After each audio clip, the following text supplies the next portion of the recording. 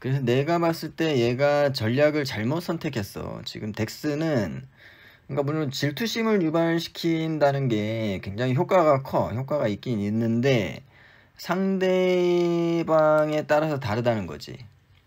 상대방에 따라서.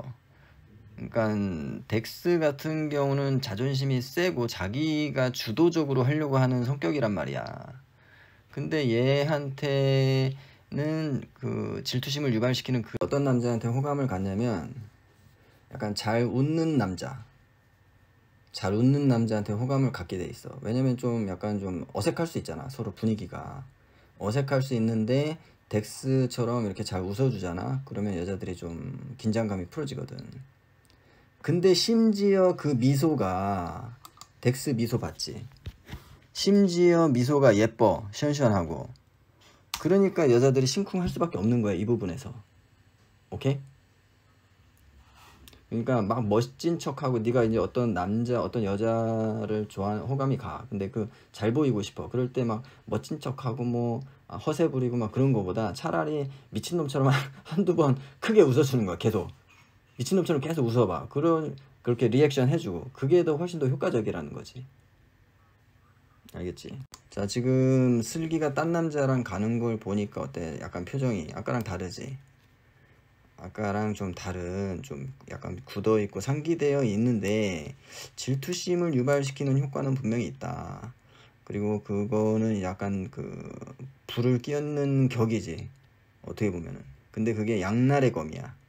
양날의 검이기 때문에 어 근데 내가 봤을 때 덱스한테는 그 전략이 조금 안 맞는 전략이었다 라고 생각이 들어.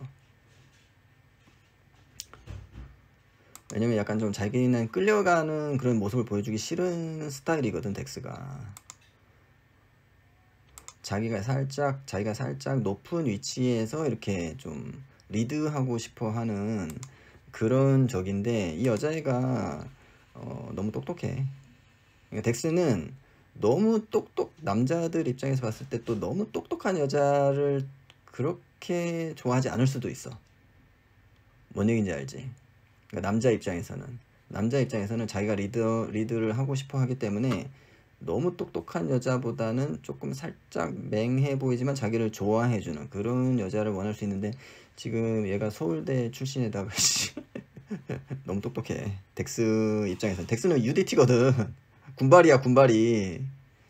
군발이 출신인데 서울대 출신이야 깔끔한 티셔츠? 깔끔한 티셔츠 같은 걸 좀 자주 입고 그리고 어, 뭐 크게 뭐막 어, 부담스러운 악세사리가 있거나 그런 옷보다는 약간 좀 dandy하게 색깔도 매칭 잘 시키고 약간 좀 fit도 잘 살고 헤어스타일 옷 스타일. 그러니까 여자들이 봤을 때 뭔가 좋아할 만한 요소들만 장착하고 있네 그지? 여자들이 봤을 때 좋아할 만한 장, 요소들 장착하고 있기 때문에 여자들 시선이 갈 수밖에 없다.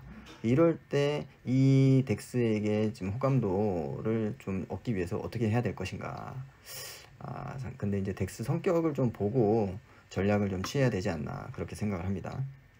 그 진짜 얘도 너무 예뻤어. 너무 예뻐가지고 전화번호 저기 해가지고 어 맨날 찾아가고 막 아침에 출근할 때 같이 버스 타고 막 맨날 전화하고 막 그렇게 해가 한번 차단 당한 적 있고 또 한 번은 대학생이었는데 갑자기 내가 또 아 뭔가 좀 마음이 꽂힌 거지.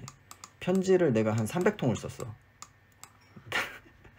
나중에 그 학교에 나는 하도 답장이 안 오길래 이상해가지고 학교에 가봤더니 그 300통이 그 우편함 있지.